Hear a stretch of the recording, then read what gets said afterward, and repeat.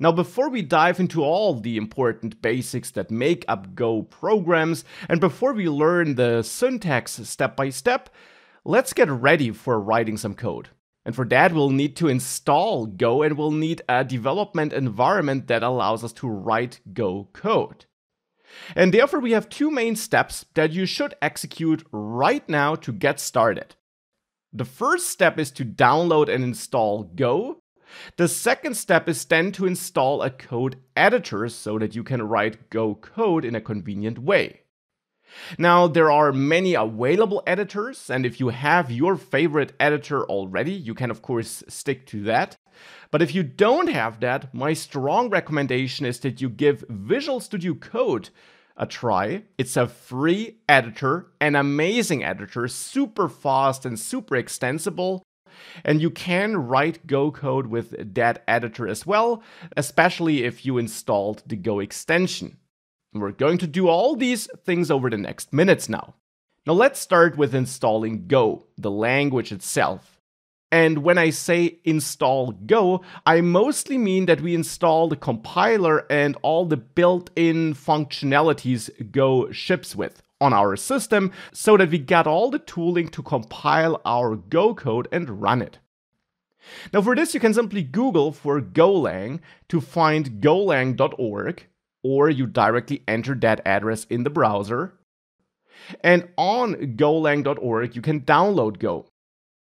Now, as it says here, Go is available for macOS, Windows, Linux, and more.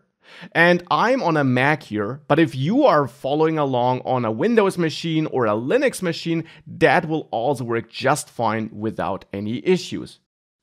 You can click this download Go button and you should be taken to that downloads page where you can now choose your version for your operating system.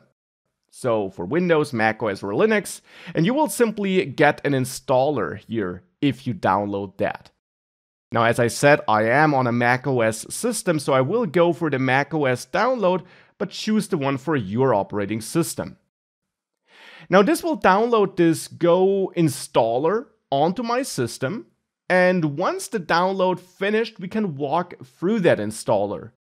And whilst the exact look of that installer, of course, will differ, the general approach is always the same the installer opens up and you simply walk through all the steps here.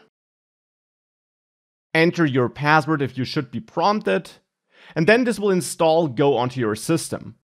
On Windows, it will also prompt you for a destination where it should install Go, and my strong recommendation here is to stick to that default location since that will make things a bit easier and ensure that Go always finds all the different tools it might need to compile and run your code.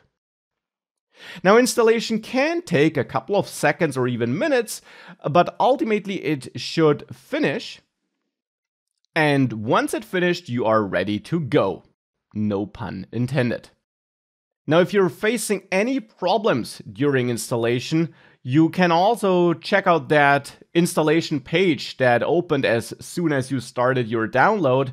And here you find more information about the installation for the different operating systems. Now, next we want to set up a code editor so that we can write some Go code.